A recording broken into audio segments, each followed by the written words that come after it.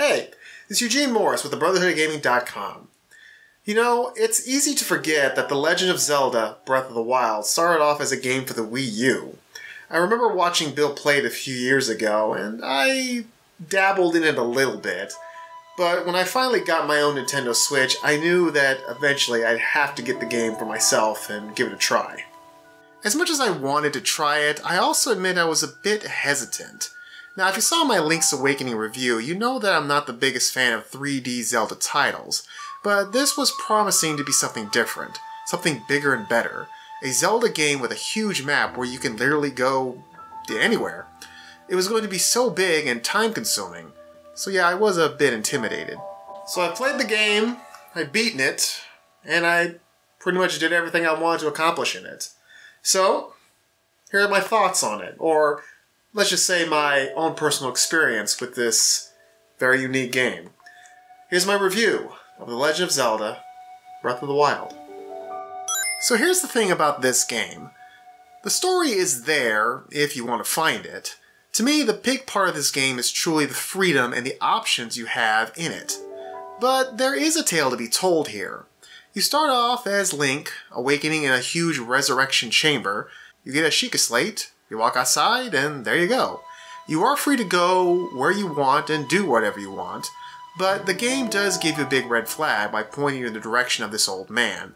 If you choose to follow him, he sets you on a path of completing some objectives that upon completion will lead you to receiving his hand glider.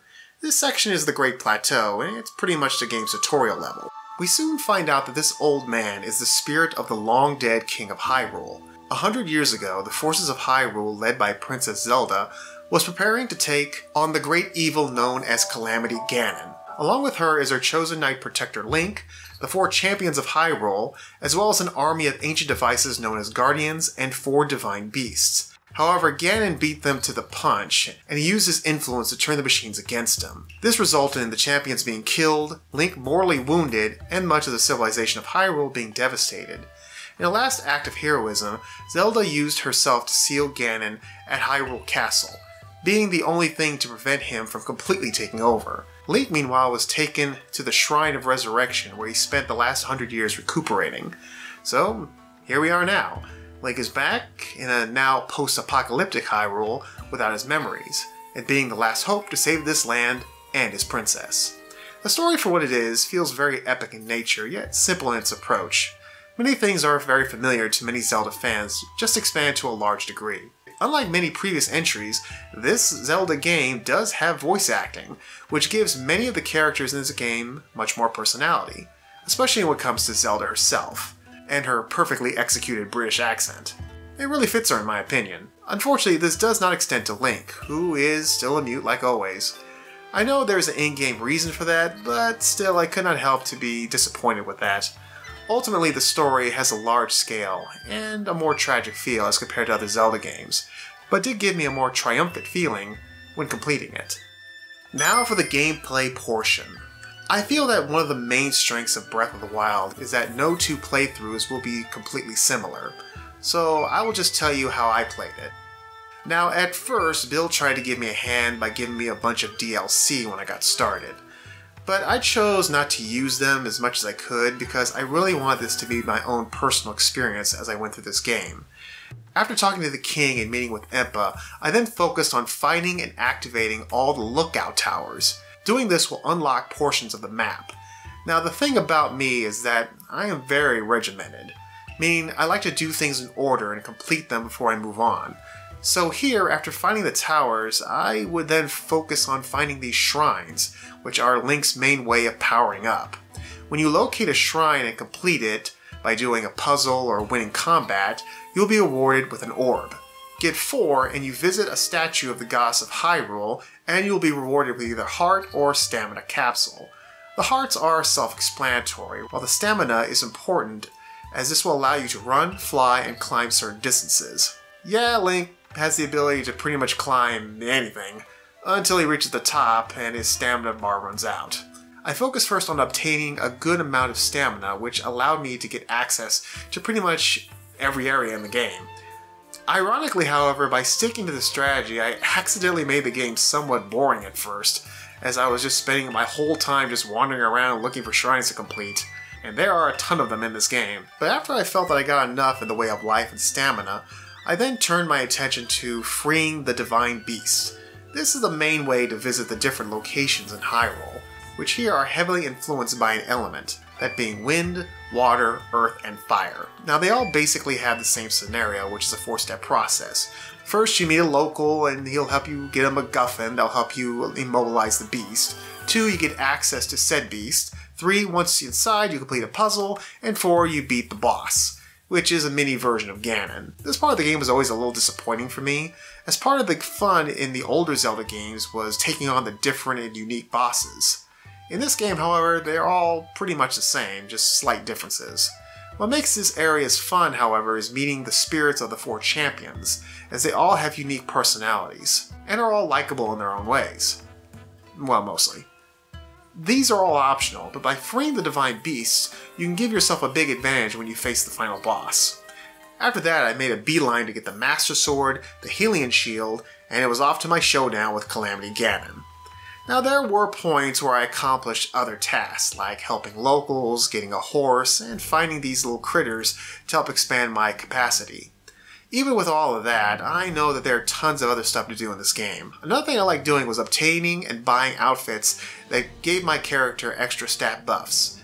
Then I would take them to the dye shop to have them colored to my liking. Hey, gotta look fashionable while saving the world. As you see, I am partial to the hooded look. Now, along the way, of course, there are tons of weapons that you can find, from handheld weapons, bows and arrows, and shields, etc. Now, there comes the most controversial aspect of this game, and that's the fact that all these weapons have limited durability, which means if you use them enough, they will break. This even affects the Master Sword to a degree. Now, yes, it is annoying. This did force me to pick and choose my battles to see if the risk was indeed worth the reward. What I would do is I would save my stronger weapons for later challenges. Fortunately, this wasn't much of an issue for me as thankfully there's plenty of weapons in the game, so I never felt like I was fully reduced to just using sticks and leaves. The game just forced me to be more prudent with it. Also, I really wasn't a fan of traveling at night, as I had to deal with those skeleton monsters. That also goes double with dealing with the Blood Red Moon, which increases the enemy's strengths. No, thank you, I'll spend those nights in bed if I can help it. Other helpful items also include the runes. Through the Sheikah Slate, you can access them, which includes bombs for blowing things up, a magnet for metallic objects, creating ice pillars and water, and so on. These are primarily used in the shrines, but they can lend you a much needed hand in many locations throughout the world. One last thing I like to mention is all the items that you can scavenge in this game, especially the food. You can take these to a cooking pot and mix and match them to create eating items that can really become lifesavers in the journey. From food that gives you more health, increases defense, speed, resistance to heat, cold, etc. I never really paid attention to cooking in previous games, which include those from Tales series, but here, I had a blast, coming up and cooking combinations that would give me an edge against the foes I would meet up against.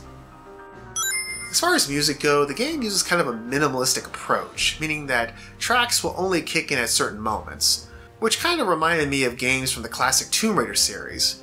For example, you can only hear the Zelda theme when you're at Hyrule Castle. This adds to the ambiance of the game for me. The music has this uncanny ability to both be epic and relaxing at the same time.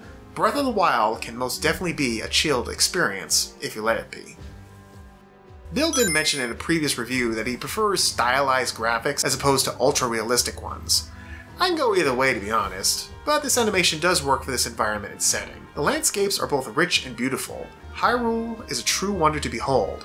While I still prefer the look of Link's Awakening, I can't deny that this is a truly beautiful game. So now it's time for the final call. Is this game a buy or sell? A true open world Zelda experience with plenty of options, a familiar formula expanded to an epic degree, an annoying weapon system that you will have to deal with, however. Once I started playing this game, I couldn't put it down.